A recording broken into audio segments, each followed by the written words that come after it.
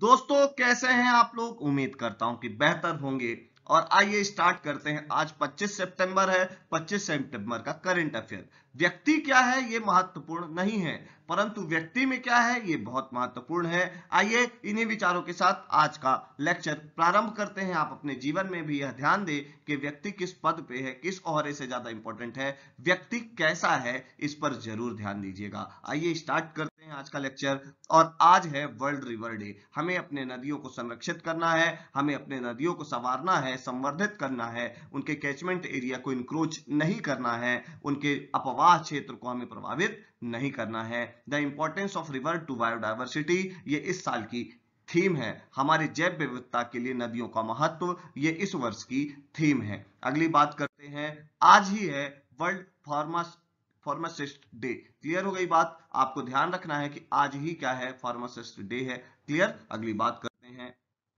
अब हम बात करेंगे, ये फ़ोटो में आपको दिख रही होंगी झूलन गोस्वामी जी। झूलन गोस्वामी जी ने 24 सितंबर 2022 के दिन अपना अंतिम मैच खेला। झूलन गोस्वामी जी ने लॉर्ड्स में इंग्लैंड के अगेंस्ट अपना अंतिम मैच खेला और भारतीय टीम ने एक बहुत ही शानदार विदाई देते हुए तीन ज़ीरो से इंग्लैंड को क्लीन स्विप किया और ऐसा इंग्लैंड के साथ भारत ने पहली बार किया है, भारतीय महिला टीम ने पहली बार किया है और लॉर्ड्स, जो कि क्रिकेट का मक्का कहा जाता है, वहाँ पर इन्होंने अपने क्रिकेट का अंतिम मैच खेला है, झूलन गोस्वामी जी ने। आपको पता है, झूलन गोस्वामी जी के बारे में एक संपूर्ण डिटेल्ड की ज़रूरत है और वो मैं आपको जल्द ही एक वीडियो के माध्यम से देने वाला हूँ। ये वीडियो आपको आज ही प्राप्त हो जाएगा। आपको मैं यह भी बता देता हूँ कि झूलन गोस्वामी जी को हम किस उपनाम से जानते थे क्रिकेट के अंदर। झूलन गोस्वामी जी को क्रिकेट के अंदर, ध्यान रखिएगा, चकदे एक्सप्रेस के नाम से जाना जाता था और इन्होंने अपना अंतिम मैच इंग्लैंड के अगेंस्ट खेला है। अगली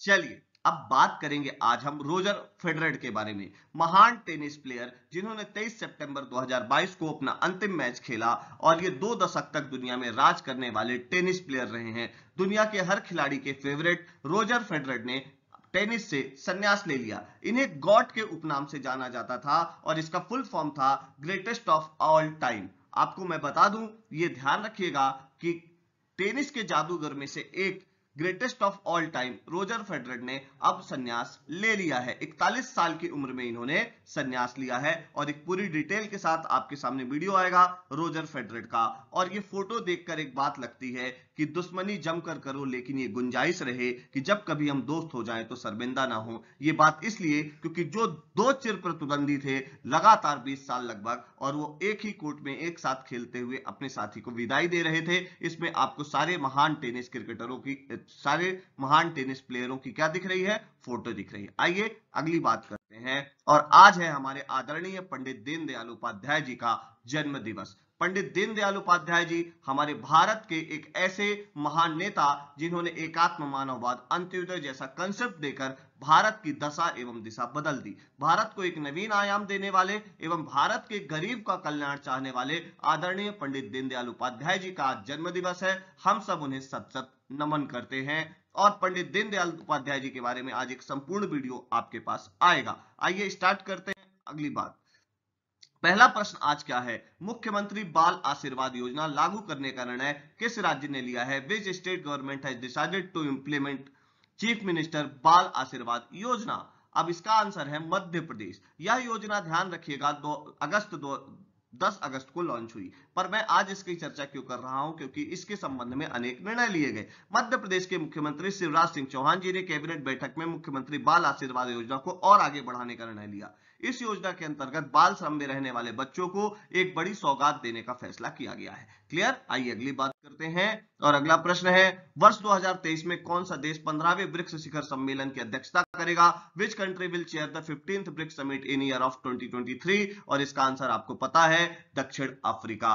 ब्राज़ील, रूस, भारत और चीन ने 2023 में ब्रिक्स की अध्यक्षता तथा पंद्रहवें ब्रिक्स शिखर सम्मेलन के आयोजन हेतु दक्षिण अफ्रीका को अपना पूर्ण समर्थन दिया है। इसलिए दक्षिण अफ्रीका में अब अगला ब्रिक्स समिट होगी 2023 की। आइए, अगली बात करते हैं। और अगली बात है, हाल ही में जी फोर जी फोर में कौन कौन से देश है? भारत, जापान, ब्राज़ील और जर्मनी के विदेश मंत्रियों की बैठक हुई। Where was the meeting of foreign minister of G four India, Japan, Brazil, German, Germany held recently तो ध्यान रखिएगा न्यूयॉर्क के अंदर हुई। जी फोर में कौन कौन है? क्वाड अलग है आई टू यू टू अलग है एंड जी फोर अलग है। ध्यान रखिएगा। अब यह है विदेश मंत्री डॉक्टर एस जयशंकर ने कल न्यूयॉर्क में संयुक्त राष्ट्र महासभा की बैठक से लगभग जी के विदेश मंत्रियों की बैठक की मेजबानी की। ब्राज़ील के विदेश मंत्री कार्लोस फ्रोंग जापान के विदेश मंत्री यसो योसीमासा हयासी और जर्मनी के विदेश मंत्री अना लेना बायराक बाक ने इस बैठक में हिस्सा लिया। अगली बात करते हैं हम, हाल ही में भारत में सोलर फार्म्स स्थापित करने वाली ई कॉमर्स कंपनी कौन सी बनी है? ये बहुत इंपॉर्टेंट है which has become the first e commerce company to set up solar farms in India recently और ये ध्यान रखना है अमेजन है इसका आंसर अमेजन ध्यान रखिएगा, वो क्या करेगी? सोलर फार्म्स स्थापित करेगी भारत के अंदर और ये ऐसी पहली ई कॉमर्स कंपनी बन गई है। अमेजन ने राजस्थान में तीन नए सौर फार्म्स के साथ भारत में अपनी पहली सौर परियोजना की घोषणा की। इसमें 420 मेगावाट की संयुक्त ऊर्जा क्षमता है। अमेजन का लक्ष्य 2025 तक अपने व्यवसाय में 100 प्रतिशत तक नवीकरणीय ऊर्जा का उपयोग करना है और ये बहुत अच्छी बात है। अगर हम बात करें तो ग्रीन डेवलपमेंट के अंदर ये सबसे महत्वपूर्ण कदम में से एक है। रिन्यूएबल एनर्जी सेक्टर के अंदर एक बहुत बड़ा कदम है। अगली बात करते हैं हम। Asia palm oil alliance APOA का पहला अध्यक्ष कौन चुना गया है? Who has been elected the first president of Asia palm oil alliance और ये बहुत इंपॉर्टेंट है। अतुल चतुर्वेदी जी को चुना गया है। भारत से हैं। दक्षिण एशिया, भारत, पाकिस्तान, बांग्लादेश, श्रीलंका और नेपाल के पाँच ताड़ के तेल आयात करने वाले देशों ने अपनी सौदेबाजी की शक्ति को मज़बूत करने के लिए क्या करने के लिए ध्यान रखिएगा? अपने क्या करने के लिए? भैया, सौदेबाजी जिसको आप कहेंगे कि डील करने की कैपेसिटी को इनहेंस करने के लिए, डील करने की कैपेसिटी को इनहेंस करने के लिए इन्होंने क्या किया है? ध्यान रखिएगा, तेल आयात के टिकाऊ बनाने के लिए अगरा, आगरा में एशियन पाम ऑयल एसोसिएशन की स्थापना की घोषणा की है। Solvent extract association of India के अध्यक्ष अतुल चतुर्वेदी को एपीओए का पहला अध्यक्ष नियुक्त किया गया है। एपीओए की अगली बैठक अगले साल की शुरुआत में इंडोनेशिया में होने की उम्मीद है। तो ध्यान रखिएगा, इसकी स्थापना कहाँ हुई? तो आगरा में हुई है एपीओए की। क्लियर?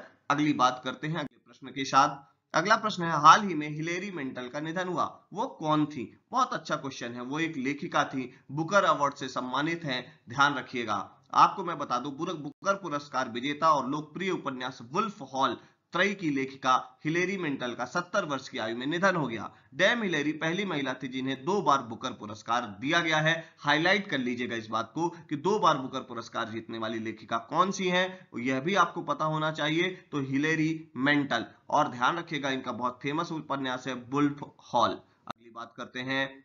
रक्षा मंत्रालय ने सतह से सतह पर मार करने में सक्षम दोहरी भूमिका वाली ब्रह्मोस मिसाइल के लिए किसके साथ अनुबंध पर हस्ताक्षर किए हैं? With whom has the defense ministry signed a contract for the dual role brahmos missile capable for surface to surface. अब ये ध्यान रखिएगा messrs BrahMos aerospace private limited के साथ हमने क्या किया है? साइन किया है। रक्षा मंत्रालय ने 1700 करोड़ रुपए की लागत से ब्रह्मोस मिसाइल के खरीद अनुबंध पर हस्ताक्षर किए हैं। भारतीय नौसेना के लिए इस मिसाइल की खरीदी भारत और रूस के संयुक्त उपक्रम ब्रह्मोस एरोस्पेस प्राइवेट लिमिटेड से की जाएगी। क्लियर हो गई बात? आइए आगे बढ़ते हैं।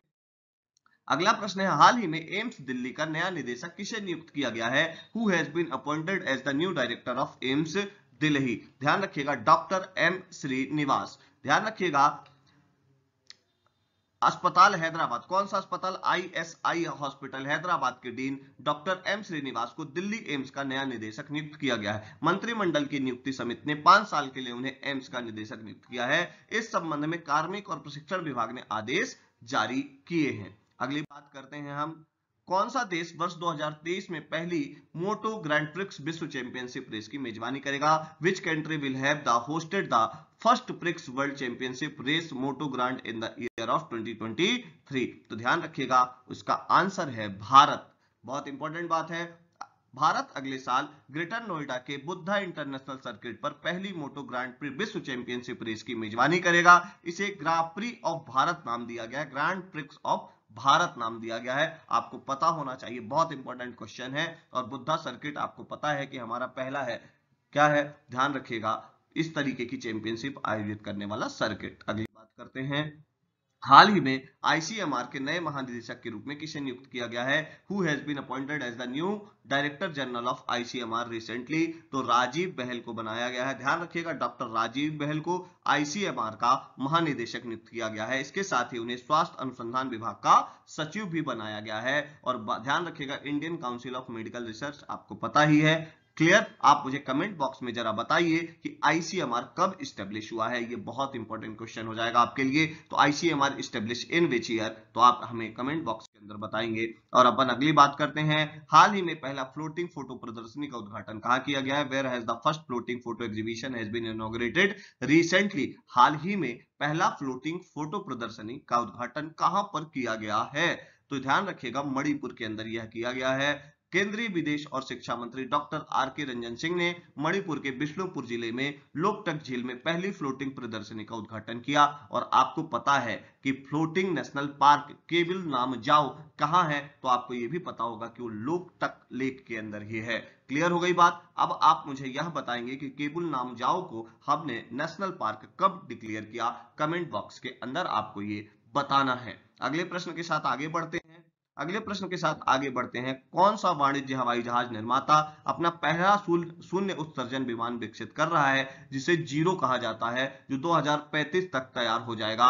Which commercial airlines marks is developing his first zero emission aircraft called zero e, to be ready by 2035 मतलब जिसमें कार्बन एमिशन ज़ीरो होगा और ये पहला अपने में अपने तरह का क्या होगा? ग्रीन हवाई जहाज़ होगा। और ऐसा किसने किया है?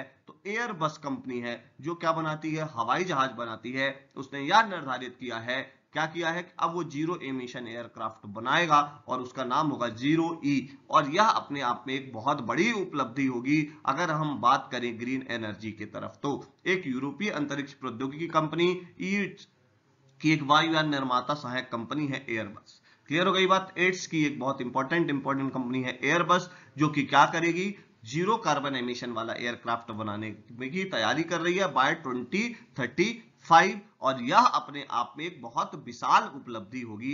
आइए अगले प्रश्न के साथ चलते हैं और अगला प्रश्न है, हाल ही में भारत और कौन सा देश सप्तकोशी उच्च बाँध परियोजना को आगे बढ़ाने के लिए सहमत हुआ है? Recently India and which country has agreed to take forward the Saptakoshi high dam project अब इंपॉर्टेंट है कि कोसी रिवर कहाँ से आती है? अगर आपके पास इतना नॉलेज है तो आप इसका आंसर दे सकते हैं। इसका आंसर है नेपाल। और आपको पता है, कोसी नदी को बिहार का शोक कहा जाता है और इस शोक को कम करने में सप्त कोसी बाँध की भी एक महत्वपूर्ण भूमिका रहेगी। भारत और नेपाल आगे के अध्ययन के माध्यम से सप्तकोशी उच्च बाँध परियोजना को आगे बढ़ाने पर सहमत हुए हैं। जल संसाधन पर संयुक्त समिति की नौवीं बैठक में फैसला लिया गया है। सप्तकोशी उच्च बाँध नेपाल की सप्तकोशी नदी पर बनने वाली एक बहुउद्देशीय परियोजना है। तो ध्यान रखिएगा, सप्तकोशी कोशी की ही ट्रिब्यूटरी है और आपको यह भी ध्यान रखना है कि यह बहुत महत्वपूर्ण रोल प्ले करेगा भारतीय परिपेक्ष में। मैं उम्मीद कर रहा हूँ कि मेरा लेक्चर आपको पसंद आया होगा। ईरा इंस्टीट्यूट का ऐप डाउनलोड करें। वहाँ आपको इस वीडियो की पीडीएफ फ्री में मिल जाएगी।